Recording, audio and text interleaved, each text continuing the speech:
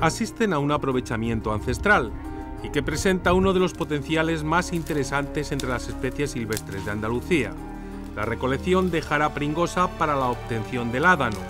una materia que le sonará poco, pero ampliamente demandada hasta hace unas décadas por la medicina tradicional, la industria perfumista o la del tabaco de mascar en la India, por su enorme poder fijador de aromas, sabores y texturas. Lo que resulta novedoso en esta ocasión es que el aprovechamiento se realiza en 400 de las 26.000 hectáreas de monte público que han sido sacadas a subasta en Espiel por la Administración, consciente de la necesidad que existe de una mayor potenciación de los recursos silvestres e incluso hacer aflorar toda una economía sumergida que al día de hoy se produce en esta y otras actividades no tan diáfanas como puedan serlo los aprovechamientos madereros o las propias sacas del corcho. Ha empezado en marzo y esperemos estar hasta octubre. Y bueno, depende de las aras, de los momentos de calor, si llueve, si no llueve, del tiempo. Muchos factores influyen para que se pueda trabajar o no se pueda trabajar. Esta es una planta que, que le afecta a todo, le afecta el frío muchísimo, por la mañana no se puede empezar muy temprano porque está mojada y no, y no se pega, y si no se pega pues no tenemos aceite ni tenemos la calidad que, que esperamos. Nosotros lo que buscamos es la planta que tenga de dos a tres años y renovándola. Y bueno, la, la, gente recoge unos 400 kilos diarios, más o menos de media, algunos días más, otros días menos.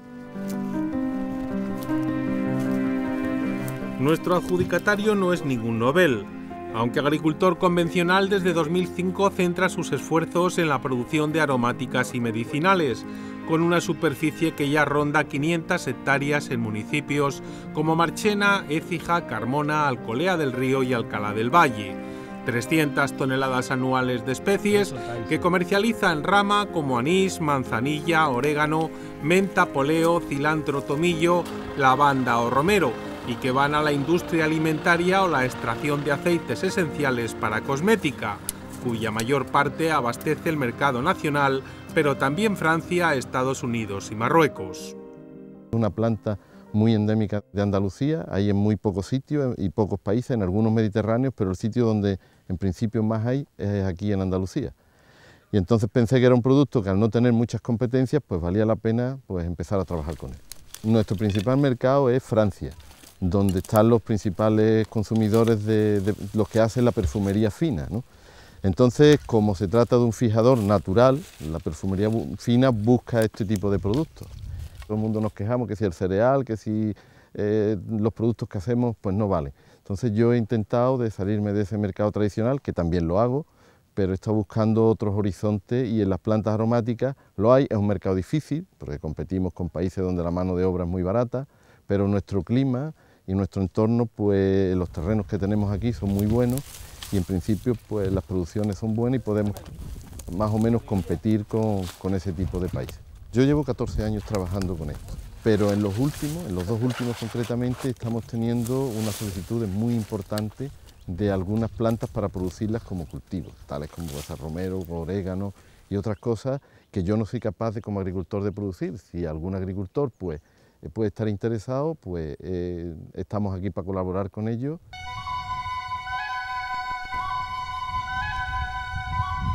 Consciente del potencial, desde la actual Consejería de Agricultura y Medio Ambiente se trabaja mediante acuerdos con la iniciativa privada en una serie de siegas y cortas a matarrasa en Andalucía que permitan fomentar las nuevas brotaciones y aprovechamientos.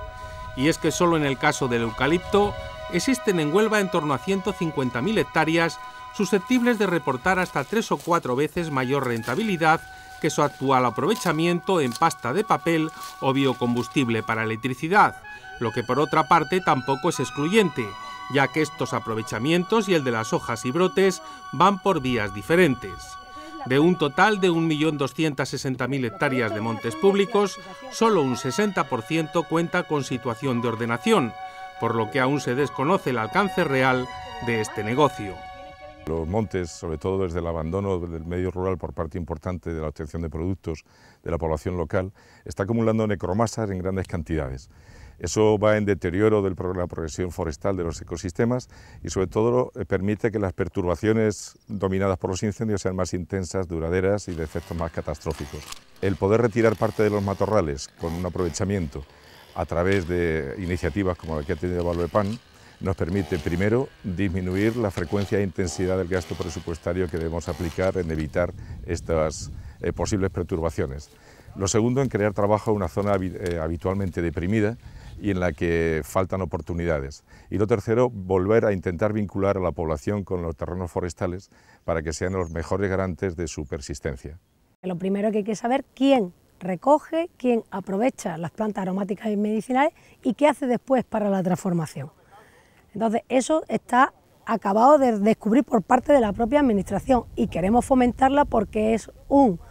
recurso natural de la zona mediterránea que realmente la podemos planificar con los proyectos de ordenación y podemos aprovecharlo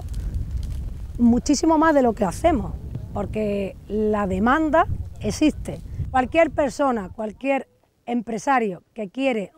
ejecutar un aprovechamiento en un monte público,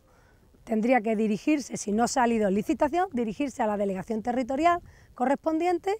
y, y solicitarlo a instancia de parte, si no ha salido a instancia de oficio. Hay del orden de 180 expedientes en licitación dentro de todos los territorios de la Junta, pero sí que en vez de ser 180 podrían ser 5 o 6 veces más. En la última década la demanda de aromáticas de países como Estados Unidos se ha multiplicado por cuatro, un sector que aunque sin subvenciones al margen del pago base, garantiza precios al productor como los de un cultivo de regadío como el algodón, pero con mucho menor gasto en fitosanitarios y agua, Sirva el dato, de 7.500 metros cúbicos hectárea a la mitad y con producciones y precios que incluso llegan a duplicar. Todo parece indicar que el negocio que iniciaron francesas como Chanel hace 30 años en municipios del Andévalo nubense y del que han estado muy poco interesadas en dar publicidad, tiende a expandirse por mor de un claro aperturismo de mano de la administración andaluza. Ojalá